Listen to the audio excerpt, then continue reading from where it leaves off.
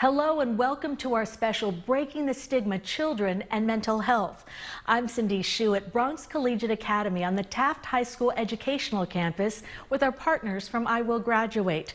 Over the next half hour, we'll give you an in-depth look at the internal problems children face but are not often discussed. We'll hear directly from children and teenagers about their struggles.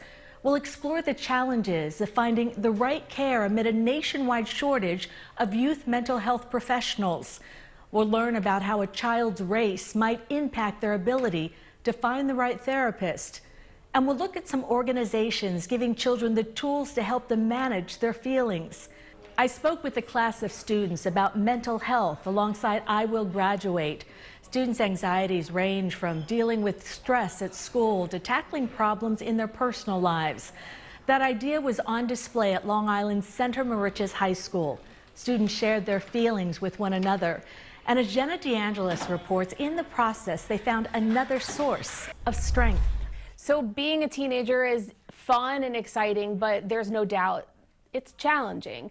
And you probably face challenges very different from myself or your teachers when we were in your shoes. So I want to have an open discussion with you guys about mental health. Mental health is an important part of our overall health. I first want to ask you, what do you think contributes to overall mental health struggles for teens? Sports. Yeah, schoolwork. Social media. Just like an overload of stuff that we have to deal with throughout the day, like a day to day basis. The pressure of it all, a common theme with both groups of students we sat down with at Center Moriches High School with a focus on social media. I feel like social media sets a certain standard. It raises the bar a lot. You never know what's going to pop up on your feed, what you can read, and how it can affect you, the things you see trying to fit in with everybody and trying to be as popular as everyone else. And how do you cope with social media? It's really important to take breaks because I feel like when you're constantly on social media, you compare yourself to people. My parents didn't let me have like certain social medias till I was older, and at the time I would complain about it, but now I'm just so thankful that I didn't experience it to an older age. I'm going to read you guys a statistic. A 2021 study from the CDC found nearly 60% of female students and nearly 70% of LGBTQ plus students experience persistent feelings of sadness or hopelessness. Does this come as a surprise to you? No. no. The students say the pandemic played a big part, explaining the isolation weighed on them. To help the students, this school has various programs and clubs centered around mental health and well-being. This program, Runch, gives the students the option to gather and get exercise rather than just sit around at lunch. Making new friends, uh, become more social. These are can forget, quote unquote, about school and just like decompress. They feel better. They feel better physically, they feel better mentally, they feel better emotionally. So it's kind of like a little bit of like a serotonin release for them in a way. Then there's Goal Getters, a more structured program run by Assistant Principal Katie Foreman, using the weight room to focus on meeting physical and academic goals. I feel I need to be a part of something like this because I personally struggled with depression. I've seen myself being more happy, wanting to come here more, wanting to complete more of my work. In the start of this year, like I kind of like got into some trouble and it was going through like a really hard time and going here every day really helped me and improved not only with like my school academics but also with my home life. For those who prefer a different outlet, there's mindfulness and yoga. Start with a little bit of just centering. From breathwork to journaling, the club offers students tools to cope with anxiety and stress. I think that it reminds them that they have agency over how they feel, that they can control their anxiety a little bit better, and that wherever they are, they can use these tools. The school's principal says in a short time, these programs are making a difference. I'm seeing the results in behavior and academics and attendance. At school, we should be a safe space. We should be a safe place for them. We should be somewhere that they don't dread to go, but that they get excited to go. And that's what we're finding. Sentiments echoed by these students who feel the support here. It really changes your school day when you're not just in class going through the motions, you have other stuff to look forward to the openness, allowing to like go to one of our, you know, faculty and just being able to talk to them. So I want you to help us help you. If I'm a parent and I'm concerned about my child's well-being, how do you think I should approach my child? Be relatable.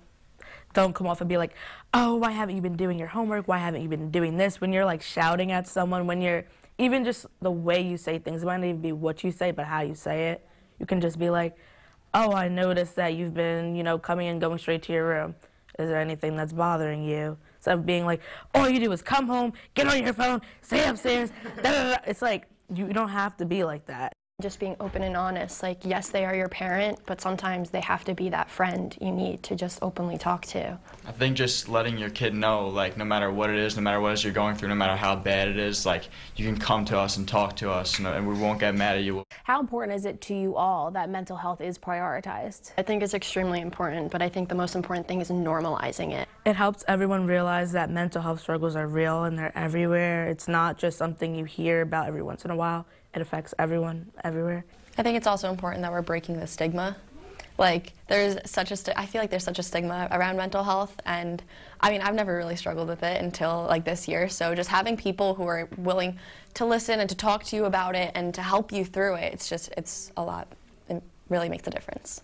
For these teens, sitting side by side, knowing they're in this together, there's power in that. The COVID 19 pandemic exacerbated mental health struggles among children and teenagers. Tim McNicholas went to a school in Manhattan where students are finding comfort. Behind the hustle and bustle of Manhattan and tucked away beneath another busy school day, So we're going to get started with three deep breaths. a break. 45 tranquil minutes here in the basement of New Design High School on the Lower East Side. On your inhale, shrug your shoulders up.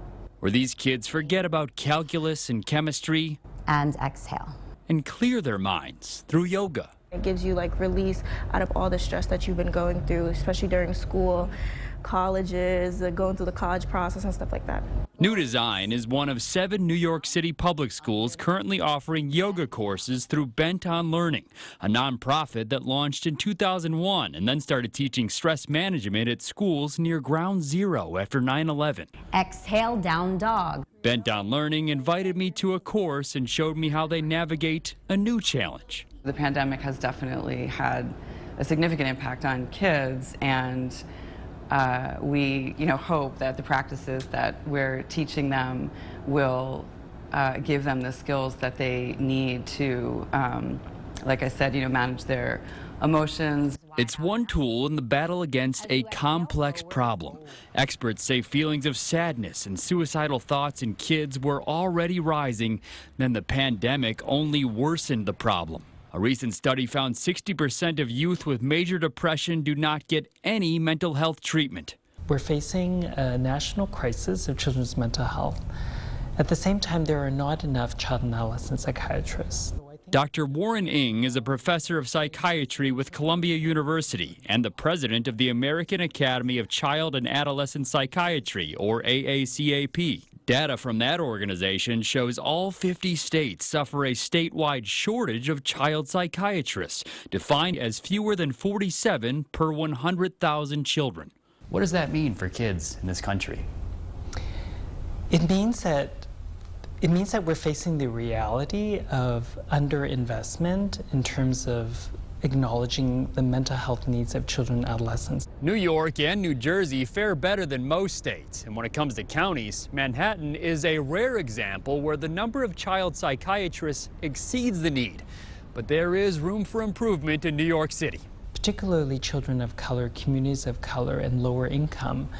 Those kids continue to be underserved, even within heavily sort of um, enriched environments like Manhattan or New York City. Back at New Design High School, freshman Estrella Miranda says she's feeling a change from how she felt during the height of the pandemic. I was like really stressed and my mental health wasn't that good, I feel. Having yoga and being able to like be with yourself and have like some sort of peace of mind is really nice. Surrender, soften, release.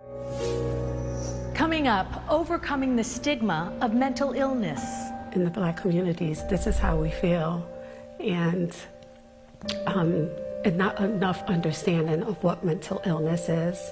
Meet one mother whose son's death inspired her to create change in her community. And amid a shortage of child and teen psychologists, the organization's aimed at filling the void.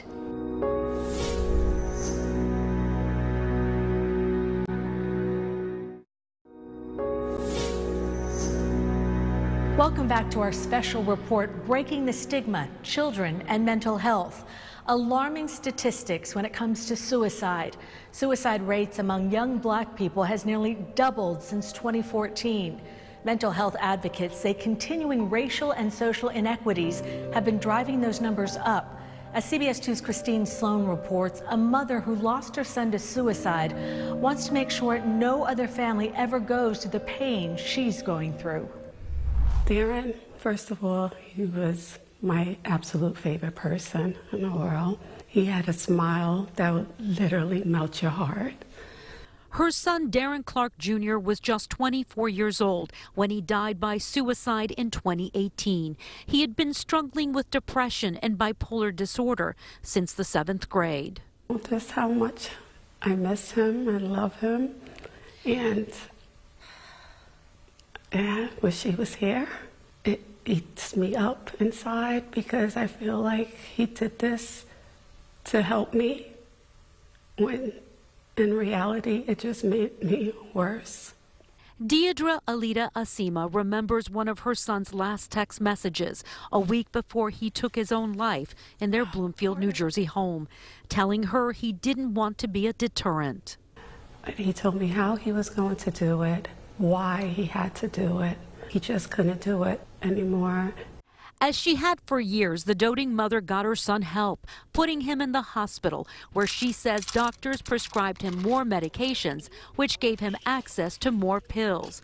Looking back, she wishes she had shared her pain with others instead of mostly praying privately. I think a lot of, you know, in the black communities, this is how we feel.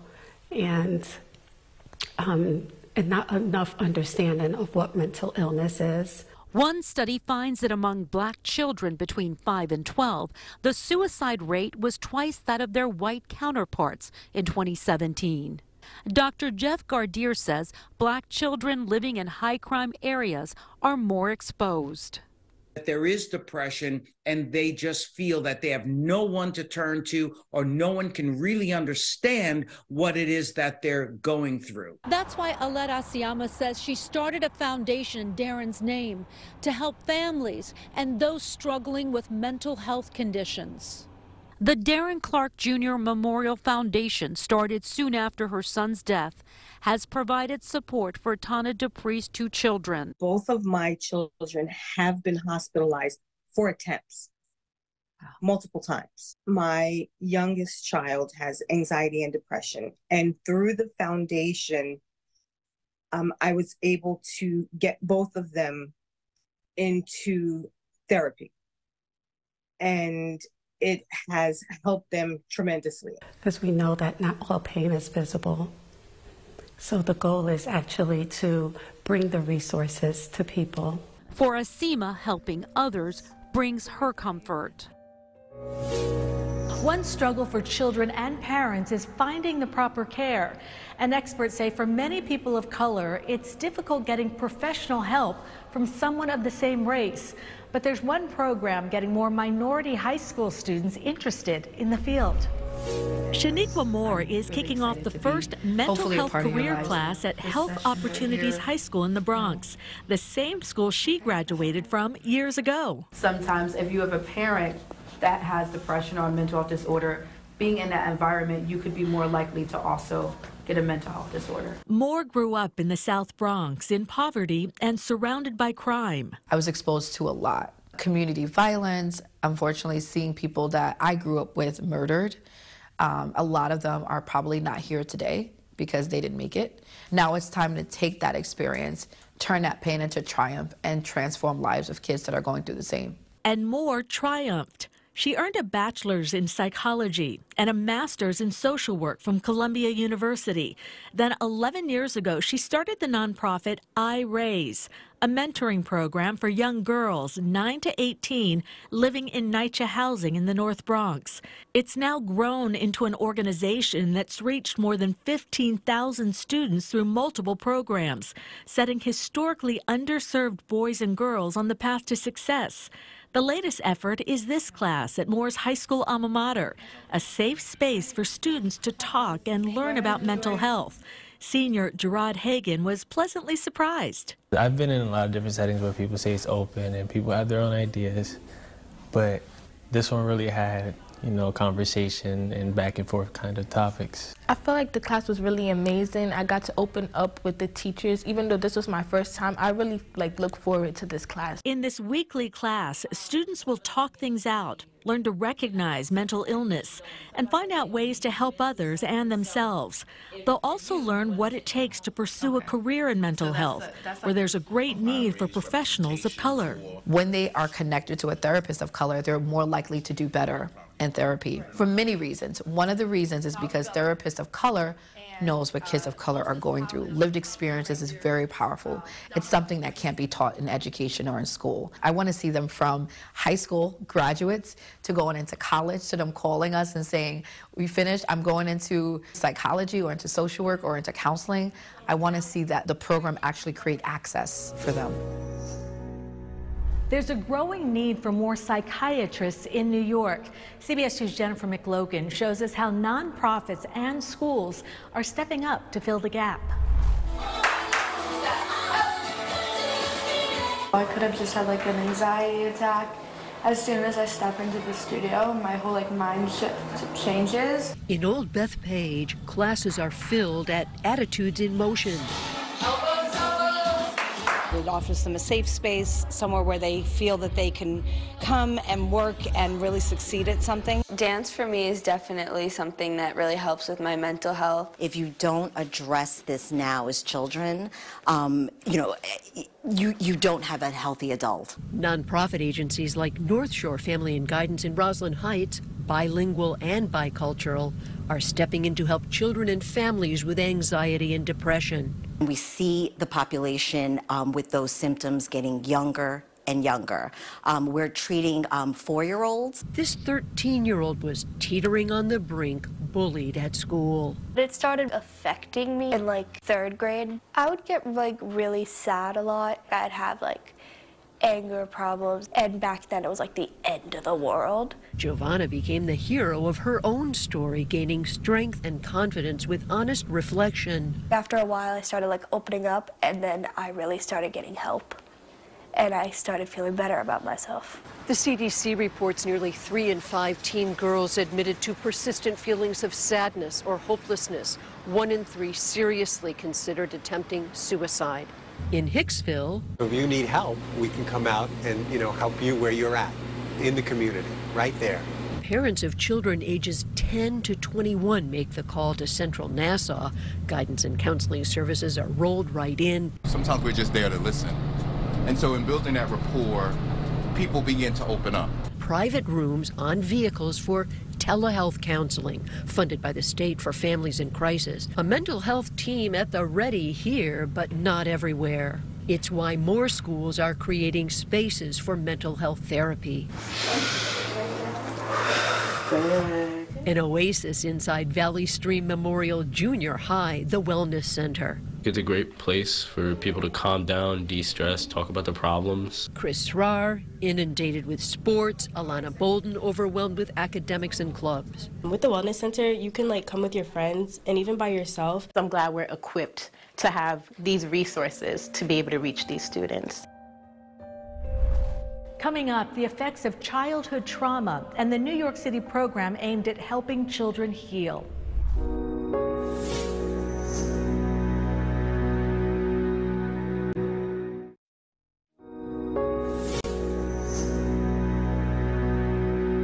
A traumatic experience as a child can also impact a person into adulthood. Shame and guilt are some of the lingering feelings if not treated. CBS 2's Jessi Mitchell reports on one organization aimed at teaching historically underserved youth and those in foster care ways to overcome. Hi, Nyla Rose. As a rambunctious bunch of kids bounds into this quiet corner of PS 108 in East Harlem, their excitement is easy to see. I get to have fun and express myself, kind of like recess, but there's like like no arguments. Gently lengthening our spine. They're learning how to center themselves inside and out through fostering meditation. Slowly rotate in the opposite direction. I love you guys. Founded by Demetrius Napolitano three years ago, the program now provides training to nearly 400 students here. What's present for you, Jair? Well, I like how he's aware of the whole room. Jair Rhodes noticed his own transformation taking shape after he met the man who would become his mentor. Before, when I was younger, I had anger issues, and like I would get mad easily. And like when I started coming to his classes, he taught me how to control my anger and be patient. Napolitano sees a lot of himself in this dedicated student. While I was here, I was in foster care. There was a lot of good moments, but there was also a lot of abuse in the home. So as a kid, I came to school and acted out a lot of that anger. A foster father eventually introduced him to yoga and meditation, and he discovered his purpose, returning to his old school to transform the room where he once served detention into a magical space.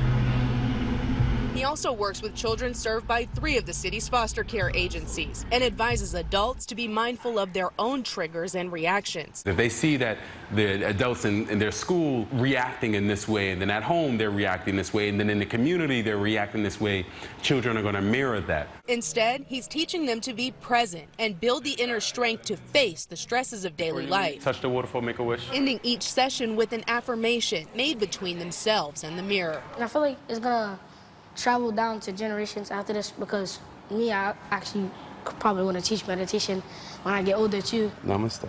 Calm comes, confident the future has no limit. Jessi Mitchell, CBS 2 News. If you're in need of mental health support, there's help available 24 hours a day, seven days a week. Call 988 for the Suicide and Crisis Lifeline. Thanks for watching our special report, Breaking the Stigma Children and Mental Health. I'm Cindy Hsu. For more information and resources on everything you've seen in this special, head to our website, cbsnewyork.com, and click on Breaking the Stigma.